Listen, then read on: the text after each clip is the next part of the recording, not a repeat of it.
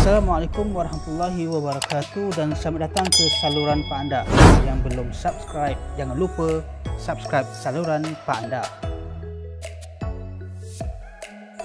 Dengan korang subscribe saluran Pak Anda, insya-Allah kita akan dapat berkongsi-kongsi informasi terkini bersama-sama.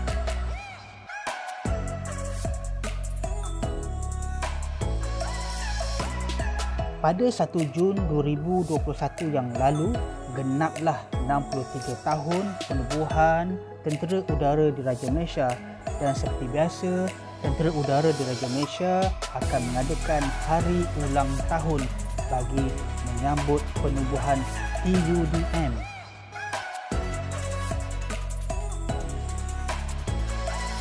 Penubuhan Tentera Udara Diraja Malaysia 63 tahun yang lalu yang dahulunya dikenali sebagai Tentera Udara Diraja Persekutuan telah mengalami pelbagai peristiwa bagi mempertahankan ruang udara negara yang tercinta.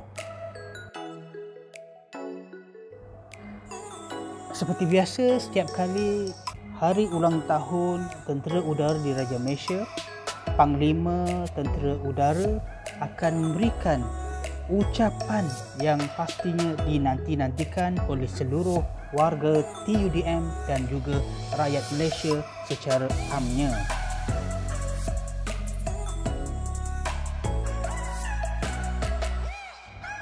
Setiap tahun, cabaran untuk warga tentera udara di Raja Malaysia di dalam mempertahankan kedaulatan ruang udara negara sentiasa menghadapi cabaran-cabaran baru yang mendatang daripada segenap aspek.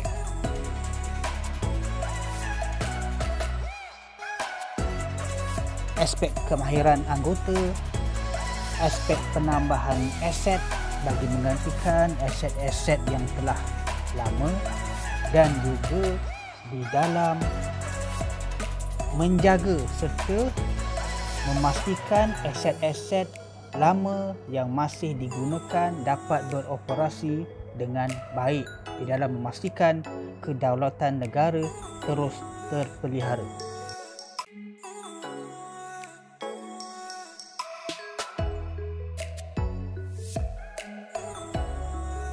Baru-baru ini ketika berucap semasa hari ulang tahun sambutan Tentera Udara di Raja Malaysia yang ke-63 tahun, Panglima Tentera Udara di Raja Malaysia ada mengatakan bahawa Skuadron 17 akan diaktifkan semula.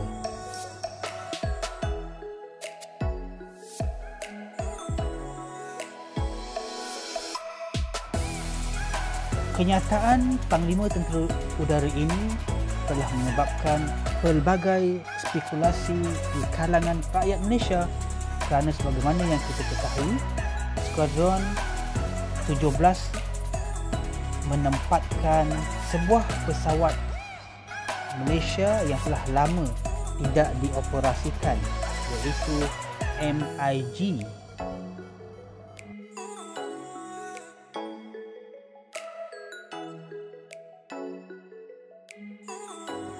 sebagaimana yang kita ketahui pesawat-pesawat MIG ini menghadapi masalah alat ganti sehingga pengoperasiannya tidak dapat dilaksanakan secara berkala sebagaimana yang telah ditetapkan.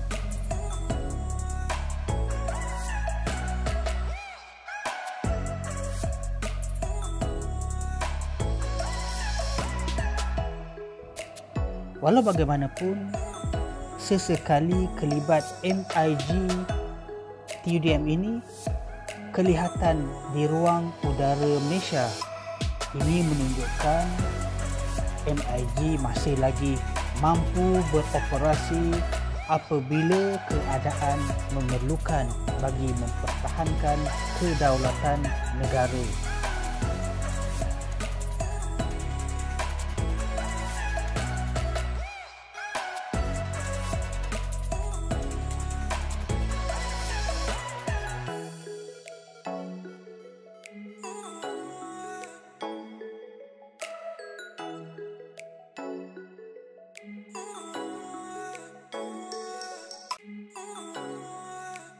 Nombor 17 Squadron akan diaktifkan semula di pengkalan udara Barworth bagi mengoperasikan pesawat MRCA.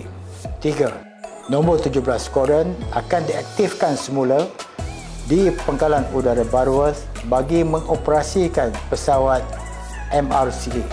3. Sebagaimana yang telah disebut sebelum ini, Skuadron 17 menempatkan MiG 29 dan kenyataan dari Panglima Tentera Udara berkenaan dengan penempatan Skuadron 17 di Butterworth, Pulau Pinang pastilah menimbulkan pelbagai spekulasi.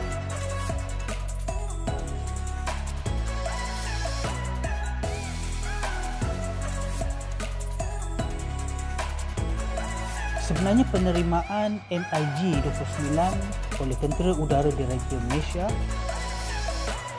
agak menggemparkan dalam dunia pertahanan di Asia Tenggara.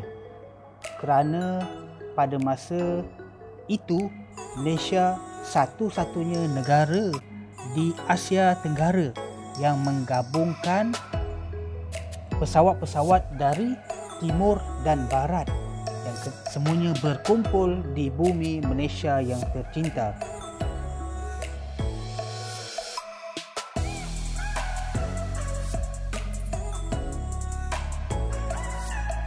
Cuba bayangkan, Sukhoi dari Rusia, MiG dari Rusia, Super Hornet FA-18 dari Amerika, Hawk dari Britain berkumpul di bumi Malaysia mempertahankan ruang udara Malaysia pastilah mempunyai sengat dan rasa yang sangat mencabar bagi pihak-pihak yang berusaha untuk menceroboh ruang udara negara.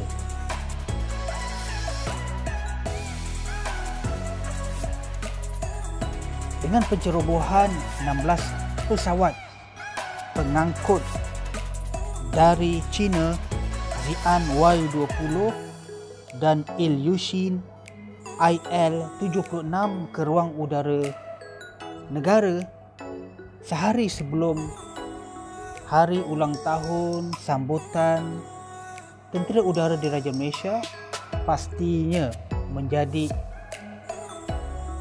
wake up call untuk negara. Bagi PUDM, mereka memang sentiasa berwaspada, bersiaga.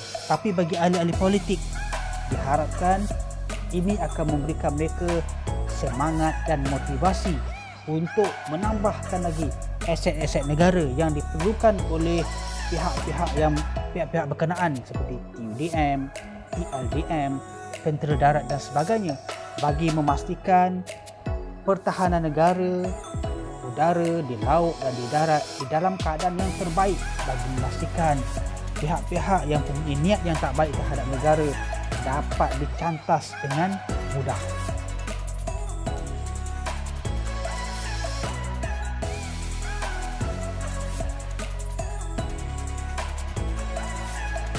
Peristiwa 16 pesawat dari negara China yang merupakan antara kuasa besar dunia dalam pertahanan ke dalam ruang udara negara merupakan satu isyarat bahawa mereka akan melakukannya lagi dan lagi kerana sekali mereka dah buat biasanya mereka akan buat banyak kali itulah perangai negara besar di sebelah utara kita iaitu negara China. Itulah yang telah mereka lakukan kepada negara-negara jiran yang pada pandangan mereka agak sedikit aset-aset pertahanan mereka seperti Jepun dan Taiwan kerana dengan kekerapan menceroboh ke ruang udara negara yang mereka ada kepentingan menyebabkan aset-aset pertahanan negara terbabit terpaksa selalu dan kerap di digunakan bagi menghalau pesawat-pesawat negara China. Sekian, terima kasih. Assalamualaikum. Jumpa lagi.